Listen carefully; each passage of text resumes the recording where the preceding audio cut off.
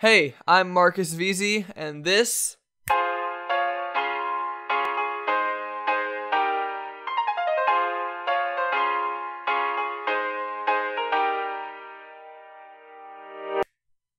is me.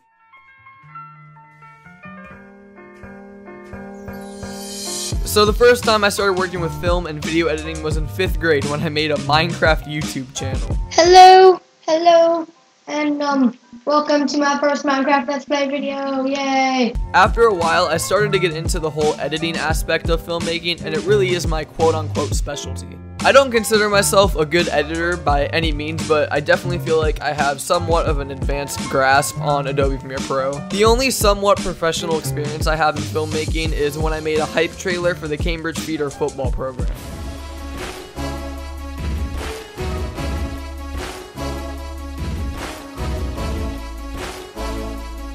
So my most recent editing projects have really only consisted of my most recent YouTube videos, which really aren't that many at all. I've made approximately 22 videos in the past year. Many of the videos I make are gaming videos, which are anything from basketball games to horror games to even Fortnite. This may make it sound like I have to edit pretty much nothing, but I spend a ton of time cutting up clips, adding small edits to make the video more interesting, adding visual and audio effects, and overall creating, in my opinion, a masterpiece. I spend anywhere from 4 to 6 hours editing a video, so I always try to make them as funny and interesting as possible. My favorite videos I've made are definitely my in real life videos. Those consist of like one-on-one -on -one basketball videos, sketches, or just mini vlogs like this one where I'm just talking to a camera. I could go on forever talking about the video editor that I am today, but I think I'm just gonna leave it there. Thank you so much.